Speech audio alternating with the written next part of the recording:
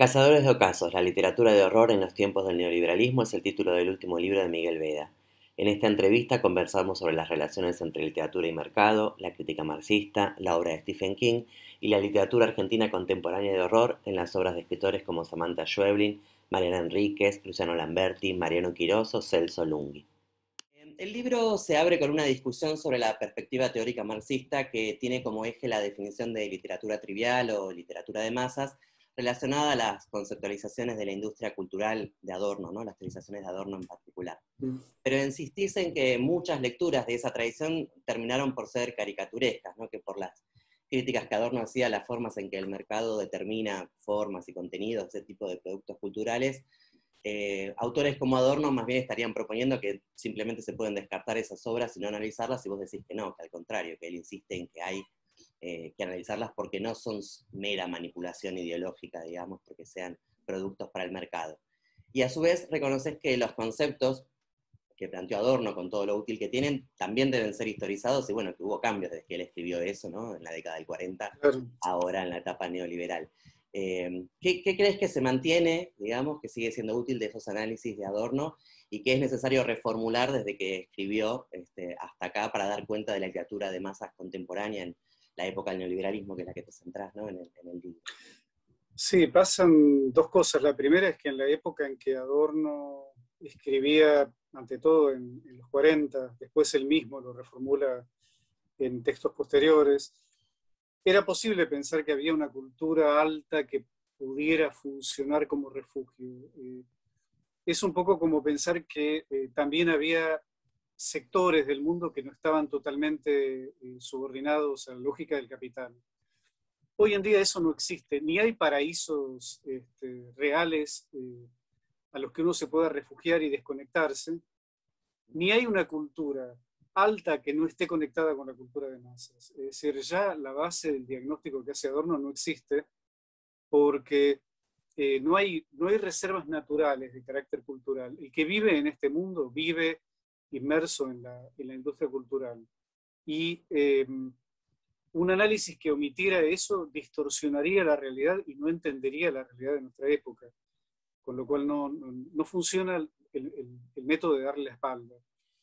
Y la otra cuestión es una contradicción que hay en el propio Adorno. Yo recordaba que cuando escribió Krakauer un libro sobre Offenbach, eh, Adorno escribió una reseña que, que demolió ese libro porque decía que faltaba análisis inmanente. Y uno se pregunta si no ocurre también esto al revés, porque Krakauer le cuestiona a Adorno que cuando habla de la industria cultural muchas veces hace una crítica global y no hay un momento en el que se detenga puntualmente con las obras para ver que, cómo funcionan desde adentro. Y que cuando Adorno lo hace, hace sus mejores análisis. Por ejemplo, analizando canciones de moda, y que ya no hay un juicio desde afuera que la condena globalmente a la industria cultural, sino que se mete a inspeccionarla desde adentro. Y es un poco el método que, por ejemplo, usa Marx cuando analiza a los economistas políticos, es decir, colocarse en la mente de esos intelectuales y ver cómo son internas las contradicciones, o cómo analiza el capital, es decir, sin un juicio moral externo, y, Marx insiste mucho en que, no hay que, eh, en que no sirve analizar moralmente el capitalismo. Hay que comprender cuál es su lógica interna, y esto supone un poco ser como un explorador que se mete dentro de esa lógica. Y, eh, digamos, la, buena y la mala lógica en Adorno tiene que ver con eso. Muy eh, aguda cuando hace un análisis inmanente, muy moral y casi en el sentido de un tabú cuando mira la industria cultural desde fuera. E insisto, hoy en día ya ni siquiera es viable un análisis de este tipo. Eh, termina repitiendo cosas y cayendo en esa lógica de la repetición que Adorno condena en la industria cultural y que uno ve en muchos presuntos adornianos que repiten una y otra vez como una especie de catecismo y que no tienen ninguna relación viva, dialéctica con, con lo que están analizando, porque ya aprendieron en Adorno cuál es el molde que tienen que aplicar. Claro, como es lo que hay que decir. Y, en relación a, estas definiciones, porque en el libro vos eh, a veces haces definiciones fuertes que después por ahí aparecen matizadas, pero me interesaban dos en particular. Eh, una es la definición de los productos de la industria cultural como mercancías, digamos, producidas para el mercado, que por lo tanto siguen, digamos, esa lógica. Eh, y por otro lado, la ya no existencia, digamos, de la cultura popular como algo independiente. Pero a su vez, vos señalás que los productos de la industria cultural no son solamente eso, digamos, productos para el mercado, sino que en los mejores de sus representantes hay tensiones entre tendencias utópicas y cosificadoras, digamos, que cuando no se subsumen del todo al, mercado incluso se expresan en la obra. Entonces, eso no relativiza la idea de que los productos, digamos, artísticos, eh, culturales, son mercancía en el sentido propiamente dicho, ¿no? En el sentido de algo producido en un tiempo de trabajo socialmente necesario para ser vendidos, porque incluso en sus malos ejemplos eh, parecen jugarse cosas ahí que, no responden, digamos, a esa lógica. incluso en, los peores ejemplos, por ejemplo, que los cuadros se vendan por millones de dólares que uno no sabe a qué responden, eh, y bueno, que efectivamente no responden al, precio que digamos que podría tener por el tiempo de trabajo socialmente necesario que llevaron. O sea, como que hay otras representaciones sociales en juego. Eh, que es lo que justamente se, se ven como tensiones a veces. O sea, vos dirías que hubo una subsunción mayor, digamos, del capital sobre el que sigue siendo un terreno que, obviamente está cada vez más colonizada, digamos, por esas lógicas, pero que sigue teniendo algo particular que lo mantiene en esa tensión, digamos. Eh, lo mismo con lo popular, ¿no? Con la cultura popular. Exacto, exacto. Yo creo que lo que tiene de interés, una de las cosas que tiene de interesante la, la literatura de masas es que es un campo de tensión entre dos lógicas que son diferentes. Una es eh, la valorización en términos de la lógica del capital y por otro lado la, digamos, la lógica propia de la producción artística. Lo que ocurre con la industria cultural, que hoy por hoy es, uno, es lejos, lejos uno de los sectores de punta del capitalismo contemporáneo, es decir, uno de los sectores que produce mayor ganancia eh, por encima de otros más tradicionales, es eh, el hecho de que cuando un autor tiene algún tipo de pretensión estética, tiene que entrar en lucha con lo que le demanda el mercado. Eh, está presente aquella observación muy aguda de Marx, que decía justamente que existen ciertas formas de producción que no se pueden regular de acuerdo con la ley de un tiempo socialmente necesario para su producción y que el arte sería un ejemplo típico. Ahora, el propio Marx plantea cómo el capitalismo tiende a subsumir, estas otras formas de producción. Por ejemplo, em, un, maestro, el ejemplo que da Marx, eh, no produce en los mismos términos en que un eh, obrero fabril. Sin embargo, cuando trabaja dentro de un esquema que está orientado a la producción de ganancia en términos capitalistas, es una producción que obedece a la lógica mercantil. Un poco esto es lo que ocurre con la, literatura de masas, es decir, eh, desde luego que obedece a criterios de valorización que no tienen que ver con los mismos criterios de la producción material. Ahora, cuando el autor quiere pelear con esas condiciones, el resultado es una lucha. Eh, por un lado, tiene que eh, producir para que esa obra circule en el mercado y encuentre compradores y, genere los valor. Y eh, yo tomo esa frase de Marx que me parece tan buena, que dice que producen bajo, bajo pena de ruina o bajo riesgo de, ruina, y que no tienen cómo eludir eso, porque si no es un fracaso en términos económicos. Pero por otro lado, el estado del mundo, por decirlo de alguna manera, con el que nos encontramos, le vuelve cada vez más difícil a un escritor dar una visión positiva, apologética, es decir, ¿cómo, cómo haces esto de eh, producir una mercancía vendible en una época que propicia tanto las filosofías positivas, eh, el optimismo, y por otro lado, un mínimo de decencia tiene que llevar al reconocimiento de que el mundo está eh, en una situación de colapso, eh, destrucción del medio ambiente, crisis climática, colapso de, de, las finanzas y de la producción en el plano mundial. Es un callejón sin salida.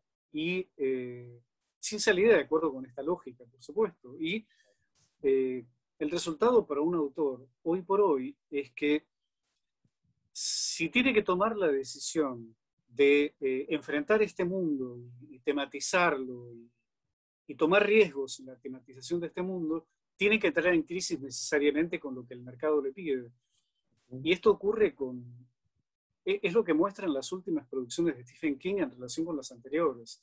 Es cada vez más pesimista y justo es decirlo, cada vez más realista. Es decir, cada vez le resulta más difícil hacer ese giro hacia lo fantástico que resultaba tan evasivo en, décadas, en décadas, anteriores. Eh, es, eh, y, creo que es lo que se nota en el horror contemporáneo en Argentina. Es eh, muy pesimista en algún punto y tiene que pelear con una realidad frente a la cual no da como ser, como ser concesivo y, conformista. Claro señala King como uno de esos ejemplos donde eso está en tensión y no es que directamente lo acepta, que es difícil ser ingenuo frente al desastre efectivamente que hay. Eh, y bueno, eh, decís que ahí hay como un giro metacrítico, ¿no? O sea, como que, que tienen que un poco hablar de las propias condiciones en las que escriben eso, ¿no? Uno de los análisis de, las, de cómo se expresa eso en la obra misma de King, ¿no? Por esto que decías de que hay que dar cuenta de lo que dice la obra y no imponerle, digamos, la, la receta. Ahora, a, su vez vos señalás que entre King, ¿no? Que vos comparás con autoras y autores de acá como Samantha Schweblin y Mariana Enríquez y Luciano Lamberti, señalás eh, dos cosas quería preguntarte en particular. Una, que ellos no son exactamente parte de, eh, mecanismo, digamos, de la cultura de masas, y decís que eso no tiene que ver por, bueno, por el número de la cantidad que venden, obviamente King vende eh, infinitamente más, digamos. Este, pero sino que están un poco fuera, digamos, de ese, de ese mecanismo, bueno, que en Estados Unidos aparte tiene mucho más peso de mercado incluso que acá. ¿Vos tenés alguna hipótesis de por qué es eso? O sea, si tiene que ver con las tradiciones locales, con el tamaño del mercado, digamos, que existe acá, con posiciones este, políticas o de la tradición literaria este, propia, que, existe esa diferencia, digamos que acá no hay autores como King, sino más bien tipo Schweblin, Enrique Lambert, bueno, y otros que uno podría tomar.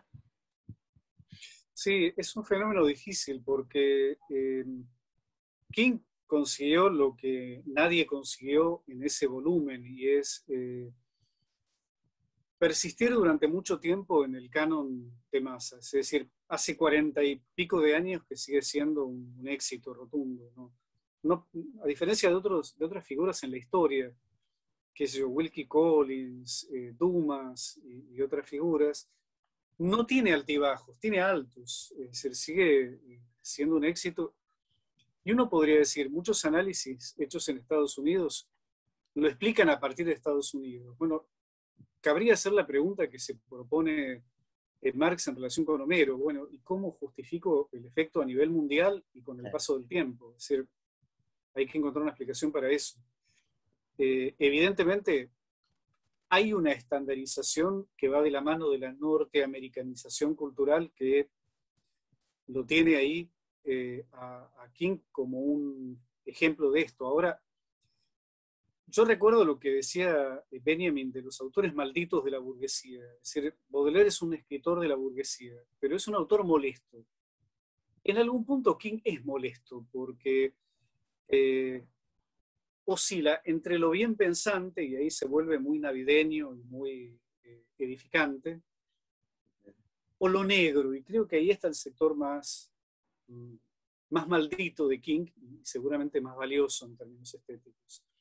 Es como si la literatura argentina tomara más el lado maldito y lo radicalizara. Y si bien hubo un giro en los últimos 10 años que, hace que eh, ¿quién, ¿quién, leía hace 15 años el horror argentino? Es decir, Horacio Quiroga o alguna cosa así muy, muy de culto. Hoy en día se volvió como aceptable leer horror y leer horror de autores argentinos. Y eso va más allá de lo académico, ciertamente, eh, pero sigue siendo algo relativamente minoritario. Y hay fenómenos más masivos como Enríquez y menos masivos como podría ser Lamberti, Quirós, eh, Lunghi, por ejemplo, que son más fenómenos de un lector más eh, literario y menos orientado a leer King, por ejemplo. Y a su vez, el que lea a Stephen King con facilidad lee Distancia de Rescates y le cuesta mucho más comprenderlo. Es una obra mucho más, eh, mucho más demandante. Y en ese sentido lo que ocurre con el, horror argentino es que es un tipo de lectura más exigente. Es decir, eh, King tiene esto que pocos consiguen de que autores más refinados lo leen y lo, reivindican, y un público masivo de, no sé, de centenares de millones de lectores. Eso el, horror argentino no lo tiene. Es decir, eh, tiene algo de, eh, de, género de culto en parte, está rompiendo con eso del género de culto y abarcando círculos más amplios, pero sigue siendo una lectura que no es eh, una lectura de masas. Lo más cercano es Enríquez, ciertamente, pero tampoco Enríquez es eh, leído de la misma manera que King. Es lo más cercano que tenemos en, nuestra literatura. Claro, sí, el de King es un fenómeno porque aparte la literatura del horror y demás siempre fue de nicho y de hecho se sigue considerando, digamos, de nicho de lo mismo escribir horror que escribir, no sé, novela realista, más o menos tradicional. Pero es un, nicho de millones el de King, digamos, este, en particular. O sea, hay algo ahí que no, que no cierra, ¿no? Bueno, también eh, el periodo neoliberal, digamos, que vos describís, también tiene ese juego, ¿no? Entre que por un lado es una estandarización y que vos describís, ¿no? Una homogenización de ese especie de gusto estándar, digamos, o conciencia estándar, para el que se escribe, digamos, para que entre la mayor cantidad de públicos clientes posibles, eh, pero a su vez permite todo este juego de la multiculturalidad y las distintas identidades y demás que se reproducen también en nichos. Claro, que pasa es que como se extendió tanto el mercado, los nichos son grandes, ¿no? Tal cual. Eh, yendo a, estos autores, los autores locales, digamos, eh, nuestros autores de horror. Señalas, bueno, estas diferencias que un poco mencionabas, que Jolene está más cercana al género de lo extraño y Enríquez por ahí combina más naturalismo con elementos del, gótico clásico, ¿no? Em, pero señalas varios elementos en común y uno que me llamó la atención es esto de que eh, para los escritores locales el campo o el interior, ¿no? Así con comillas, aparece como ese lugar donde pueden aparecer los espantos. Y vos haces una relación con eso con la historia nacional. ¿Por, qué aparece ese lugar? Porque por un lado es del género, ¿no? El gótico es alejado, ¿no? El castillo en el medio de la nada, pero vos lo relacionás también con algo de la historia eh, nuestra, digamos. Sí, yo creo que, a ver, se cruzan varias cosas. Una es una influencia de, ciertas tradiciones del gótico mm, más norteamericano que inglés, es decir, está como obra fundacional también para la literatura argentina toda la narración de la pradera estadounidense, la pradera de los boicanos de, de, Fenimore Cooper, por ejemplo, que, influyó inmensamente sobre Sarmiento, por ejemplo, en Facundo. Eh, y después todo el gótico sureño estadounidense, y, por ejemplo, Enrique permanentemente eh, reconoce y se, nota al mismo tiempo la influencia de ese gótico, no sé, Carson McCullers, por ejemplo. Faulkner, de alguna manera, hay, hay, mucho de gótico en Faulkner, particularmente en algunas de las novelas, o, narraciones como Una rosa para Emily, por ejemplo, que tienen algo de, gótico sureño, y, eh, y, eso es una influencia para el gótico argentino. Entonces hay un campo siniestro, un ámbito de lo, que, lo que constituye la frontera en la literatura estadounidense y, la adaptación al ambiente local. Eh, la idea de que hay una especie de frontera epistemológica y que de, este lado está lo urbano, lo conocido, la modernidad, y que hay un del otro lado, y que el horror trabajaría con ese otro lado. En una literatura tan unitaria como Argentina, como la Argentina, el interior fue visto muy recurrentemente como lo otro, lo exótico, lo diferente, el horror. Y hay mucho de estética del horror, naturalmente, en la visión de los unitarios, la, montonera, la superstición, etc. Eh, un detalle llamativo es que la mayoría de estos autores de horror argentinos son del interior y eh, hay una mezcla que es bastante interesante, porque tienen una mirada urbana, muchos de ellos se trasladaron a la capital inclusive y viven en Buenos Aires, no son regionalistas en un sentido tradicional, pero trabajan mucho con el interior. Ejemplos típicos, bueno, Quirós tiene eh, una novela que es Una casa junto al tragadero. Eh, él ambienta sus, obras en el Chaco, que es su lugar de origen. Ahora, eh, es un Chaco donde aparece toda una visión muy próxima al horror, el río que devora personas y animales, eh, fantasmas que aparecen en esa realidad, o Lungi, que es de Pehuajó, eh, provincia de Buenos Aires, ahora que muy inspirado en Puig, muestra un interior marcado por supersticiones, por cierto atraso, entre comillas, cultural, y el crimen brutal. Y los fantasmas están mezclados con esa visión de, un cierto atraso, ¿sí? de una comunidad más cerrada, con tradiciones eh, más estables, menos tocadas por la modernidad. Y todo ese imaginario aparece también en, cómo se procesa la, la, cultura popular, no la cultura de masa, sino la popular en el sentido real. Por ejemplo, eh, cómo aparecen las supersticiones y las creencias populares tanto en Lungi como en Mariano Quiroz aparece el tema de la luz mala, o en Quiroz el tema del bombero y ese, tipo de figuras de, las creencias rurales, y eh, muy fuertemente en Enríquez toda la mitología del, litoral argentino, es decir, el gauchito Gil, eh, San Son, eh, San La Muerte, digamos, todo esto que aparece muy fuertemente en su obra. Es decir, aparece como un, otro respecto de la modernidad urbana, respecto de Buenos Aires, respecto de Rosario, de Córdoba, capital, y al mismo tiempo como algo que invadió de alguna manera la capital y que tiene que ver con la marginalización urbana en capital. Esto se ve muy fuertemente en Enríquez, el, el chico sucio, ¿no? Constitución y San La Muerte y, y San Huesito y, y Sansón en, la parte de atrás de Constitución que aparece en ese cuento. Claro, sí, como la barbarie que un poco nos comió una parte de la civilización, digamos.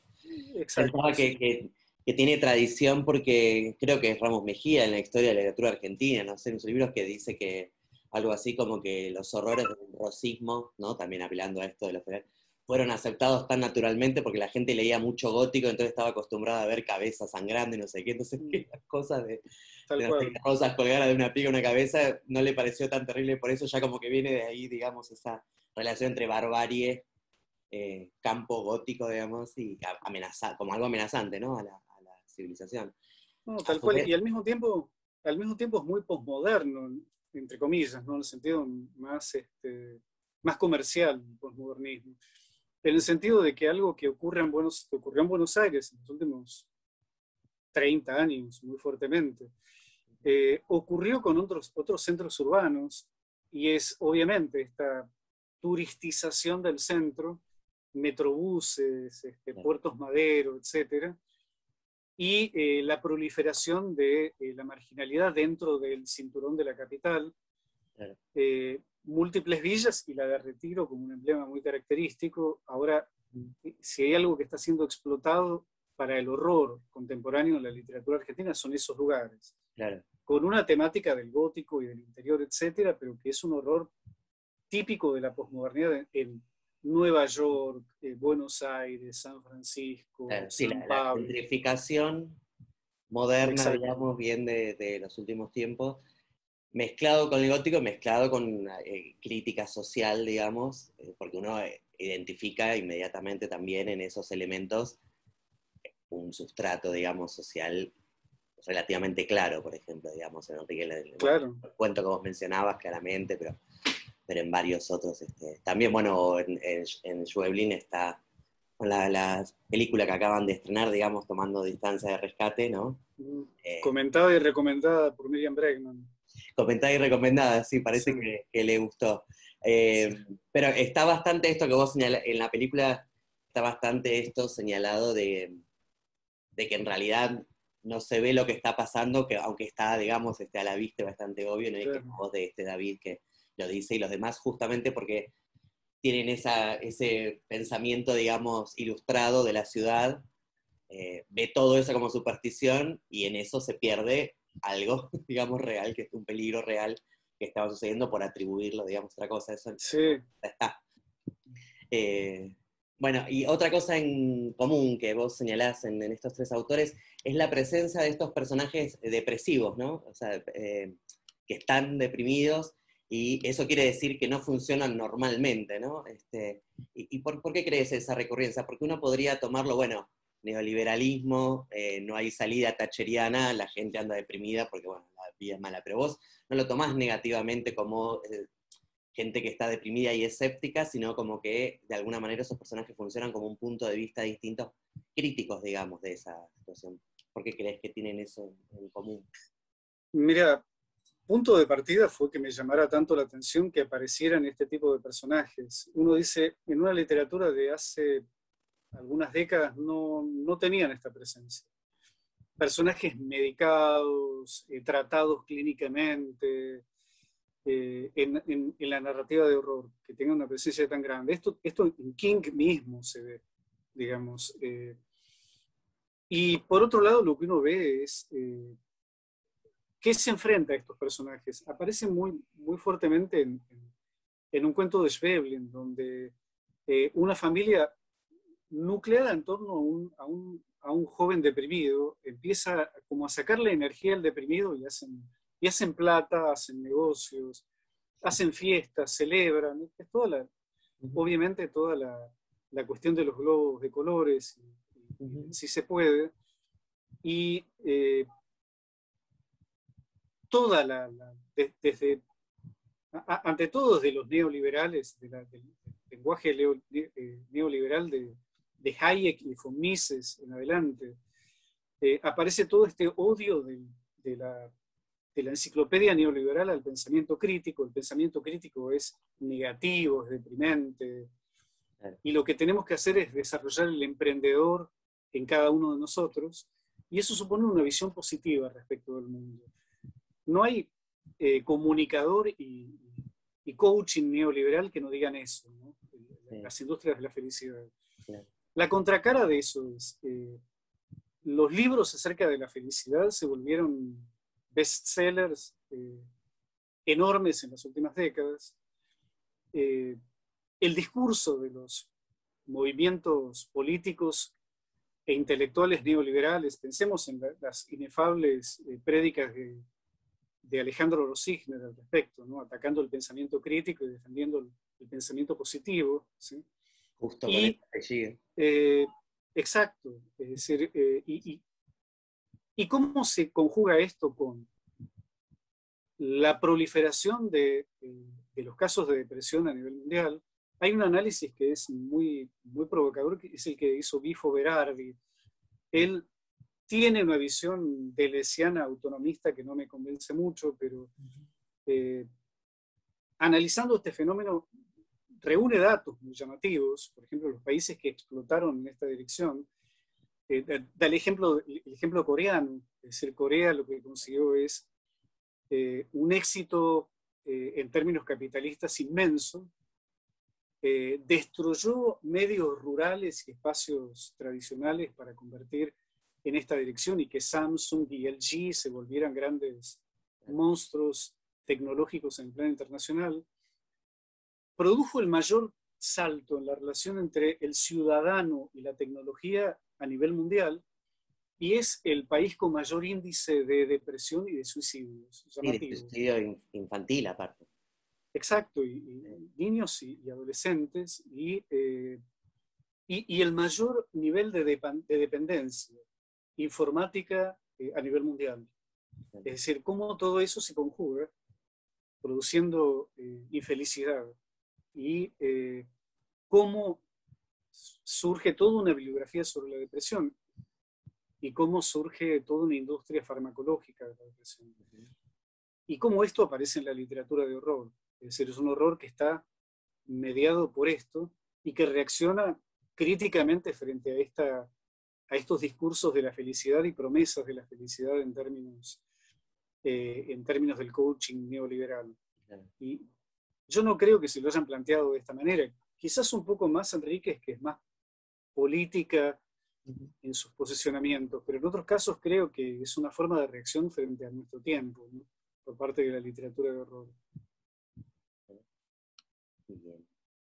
Bueno, ya saliendo del, terreno literario, pero volviendo a este panorama general de la época neoliberal que también haces en el libro, eh, dos cosas. Por un lado, ese proceso que mostró que el neoliberalismo y su crisis mostró un poco de nuevo esa estructura económica y social que durante los años de estado de bienestar y demás parecían ocultas y que el neoliberalismo de nuevo los puso en escena. Y por otro lado señalas que muchos de los modelos que se presentaron como alternativos en las últimas décadas, eh, como los, no sé, los neoliberalismos latinoamericanos, pero no sé, uno podría pensar otros modelos en, Europa, por ejemplo, tuvieron el problema este de la voluntad de incluir, pero mediante el consumo, que es uno de los elementos que justamente moldeaba esta idea neoliberal y que entonces, en un sentido, quedaron entrampados, digamos, en no romper esa conciencia modelada por el neoliberalismo. ¿Crees que, ¿crees que mm, a partir de 2008 y de la crisis, digamos, del 2008, hay, cambios subjetivos, digamos, en eso? Eh, ¿Hay cambios en la conciencia o en el sentido común, digamos, que, que todavía están por verse, que ya estamos viendo? Eh, y la posibilidad de que haya otras conciencias modeladas, no por el consumo, sino por otros imaginarios, digamos. Naturalmente, eh, la visión apocalíptica de que el sistema nos comió la cabeza no, no me despierta demasiadas simpatías. sí es cierto que todo este auge que hay en las lecturas de, de Marx sobre el fetichismo y sobre la mistificación, digamos, todo esto que fue muy recuperado por las nuevas lecturas del Capital, pone en escena algo que es cierto, y es que eh, el neoliberalismo donde tuvo mayor éxito, es decir, los, programas de que iban a sanear economías, producir trabajo, eh, eliminar la, la desocupación y, demás no funcionó nunca en ningún lugar del planeta, con la dudosa excepción de China, donde fue posible, en términos no nuestros, pero en términos de ellos, por una estructura de un Estado hiperpoderoso sobre bases de un comunismo burocrático. Eh, eh, en los demás lugares no funcionó. Ahora, en cuanto a ingreso al sentido común, tuvieron un éxito eh, tremendo. Y eh, el hecho de que haya una decisión por parte de, millones de personas a nivel mundial de decidir en, en, contra de sus propios intereses es algo que seguimos viendo. se sigue funcionando. Y no hablo en términos electorales que siempre son muy estrechos, sino en términos de elecciones de vida, imaginarios utópicos, etc. en ese sentido, eh, la realidad es que esta visión de que el consumo es prueba y garantía de realización sigue siendo muy, muy fuerte. Inclusive el discurso anticomunista que sigue siendo muy, muy eficaz en muchos lugares del mundo, en Europa desde luego que en primera línea, eh, tiene que ver con esto, es decir, el comunismo, el comunismo, entre comillas, no habría resuelto las necesidades que tienen los seres humanos por eh, una vida confortable, que, no un buen vivir, una vida confortable en términos de consumo. Y de que por lo tanto habría que explotar aún más los mecanismos del consumo porque es la vía de la felicidad. Al margen de que es muy difícil en una época como la nuestra, después de lo que lo que implicaron los, socialismos del Este, los así llamados socialismos del Este, en la conciencia de miles de millones de personas, es decir, desalentándolos de creer en una alternativa de este tipo, eh, de que resulta difícil. También hay algo propio del neoliberalismo y es, es una época en la que realmente quedó muy debilitada la, la conexión inmediata, fuerte, eh, masiva con un imaginario utópico y que naturalmente eh, sabemos que es algo que está marcado temporalmente, que es algo que debería ser transitorio, pero es la realidad con la que nos toca lidiar. La, frase esa famosa de Jameson, citada por Harvey, reproducida mil veces, de que es más fácil imaginar el fin del capitalismo, el fin del mundo que el fin del capitalismo. Tiene algo de, efectivo. Y en ese sentido, hubo crisis de 2008, hubo crisis antes y después, desde, los años 70, con la enorme crisis estadounidense, crisis tequila, crisis de 2001 en la Argentina, 2008 y posteriores, y seguirá habiendo, porque no, tiene cómo evitarlo el capitalismo en el plano mundial, eh, no impidieron que se volviera a tropezar con la misma piedra y se le volviera a dar crédito a, eh, a una economía neoliberal y una visión del mundo neoliberal por, falta por parte de gente que ni sabe en términos muy estructurados qué es el neoliberalismo. Creo que es que, es realmente una dificultad con la que es necesario lidiar. Sí, pero ahí, ahí no, hipótesis, yo tampoco lo sé, digamos. Pero no pasa algo similar, digamos, a lo que decías con la literatura, en el sentido de que está bien, obviamente eso está, y aparte, bueno, lo que se llamó el socialismo real, eh, el, anticomunismo que se implicó y demás, es, es, algo que en algún momento vamos a pagar, digamos, históricamente, o que venimos, digamos, pagando históricamente. Sí. Pero a su vez, digo, la crisis del 2008, bueno, la propia pandemia, digamos, ahora, eh, la crisis eh, por el calentamiento global, el problema ecológico y demás, eh, también da fenómenos, no sé, por ejemplo, que en Estados Unidos hace poco hicieron una encuesta entre los jóvenes y socialismo no era una palabra tan mal vista como uno podría creer de la juventud de Estados Unidos, consumista al mango, ¿no? Uno podría decir, bueno, y que no. Obviamente socialismo como ellos lo entienden, pero que, por ahí no es lo mismo que nosotros diríamos, pero digo, lo que no es más más la palabra. O, no sé, los jóvenes por, eh, por las luchas ecológicas, digamos que, porque efectivamente ven que eso, esa consigna que tienen, no hay planeta B, o sea, es esto, no, no queda nada. Bueno, ahora la pandemia, ¿no? Que, que, que demostró muchos de los males, digo, digo lo mismo en el sentido de este, que uno por ahí al principio cuando criticaban el liberalismo en los 90, en los 2000, la idea que muchas veces recibía de vuelta era, bueno, está bien, el problema es el liberalismo, las finanzas, no el capitalismo, que vos es algo que también señalás, ¿no? Eliminemos el problema de demasiadas finanzas, demasiada globalización y no sé qué, y nos queda un capitalismo más o menos bueno que puede andar, y que eso también es cada vez más difícil de sostener, porque se extendió tanto, primó tanto tiempo, no sé qué, y ahora muestra sus crisis, que ya no son solo, o por lo menos para sectores por ahí ya no son solo del neoliberalismo, de excesos del capitalismo, sino del sistema capitalista como tal.